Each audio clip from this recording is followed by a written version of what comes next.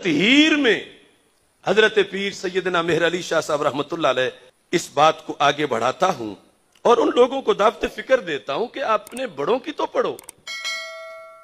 हमारा सिर्फ़ यही कसूर है कि हमने उनको पढ़ा है और उनके हवाले हर जगह पे देते हैं।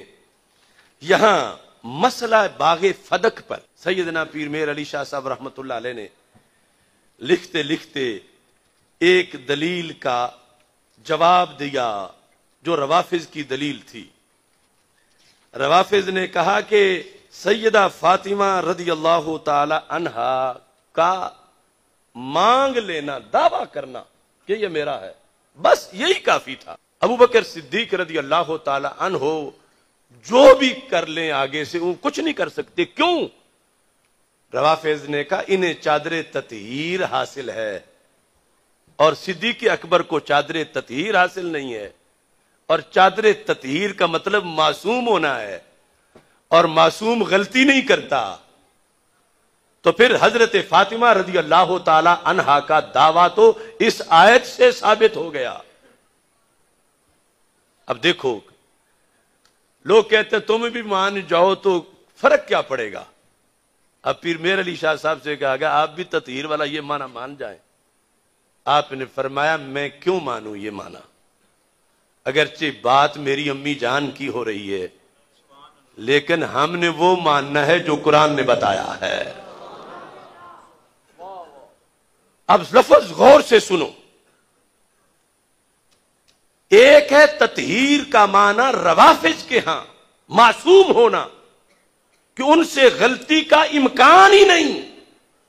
और दूसरा है ततहीर का माना अहले सुन्नत के नज़दीक कि गलती का इम्कान तो है, लेकिन रब ने हिफाजत फरमा दी है। लफज सुने। फरमाते हैं कि इस मौजू पर एक और दलील जो फ्रीक के मुखालिफ की तरफ़ से दी जाती है, वो ये है कि अल्लाह ताला ने बमूजब आयत ततहीर अहल बैत अलहमरिदवान को पाक गर्दाना है। लिहाजा सैदतुलनिसा रदी अल्लाह तहा फदक का दावा करते हुए किसी नाजायज अमर की मुर्तकब नहीं हो सकती। यानी जब वो मासूम है तो वो नाजायज बोल कैसे सकती हैं? ये रवाफिज की दलील है। कहते हैं, इस दलील का तफसीली जवाब आगे चलकर आयत ततहीर की फ़सल में दिया जाएगा। यहाँ इतना कह देना काफ़ी है। आ, अगले जुमले जो है ना मैं बोलूँ कोई भी आज का बोले तो दूसरी तरफ़ से फ़ौरन कहा जाएगा इनके दिल में कोई मरोड़ है। और ये बोल रहे हैं पीर मेर अली शाह साहब। तो पता चला मरोड़ का मसला नहीं शरीयत की हिफाजत का मसला है। क्या वजाहत की? फरमाया, ततहीर का माना जो वो लेते हैं, वो गलत है।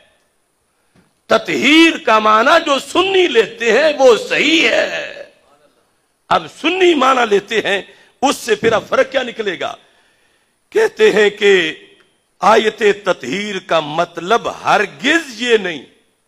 हरगिज ये नहीं। ये नहीं कि ये पाक गुरु मासूम है। सरकार के अलावा जो चार तन है, पाँच तन में, कि ये पाक गुरु मासूम है पीर मेरे लिशा फरमा रहे हैं, आयत ततीर का हरगिज ये मतलब नहीं। ततीर है, मगर ये मासूम नहीं। क्यों? मासूम सिर्फ़ रब के नबी हैं, इंसानों में।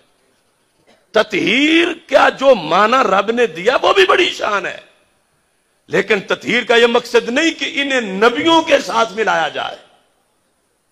नबी मासूम है इंसानों में, और ये फरमाया कि आयत ततहीर का मतलब हर गिज ये नहीं कि ये पाक गुरु मासूम है, और इनसे किसी किस्म की भी खता का सरजद होना नामुमकिन है। तो ये मतलब नहीं। खता का सरजद होना मुमकिन है।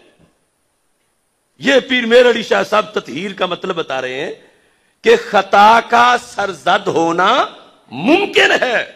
तो फिर फरमाते हैं, इसका यह मतलब है कि अगर बामुक्तजा बशरियत इनसे कोई खता सरजद भी हो तो वो अफव ततहीर इलाही में दाखिल होगी।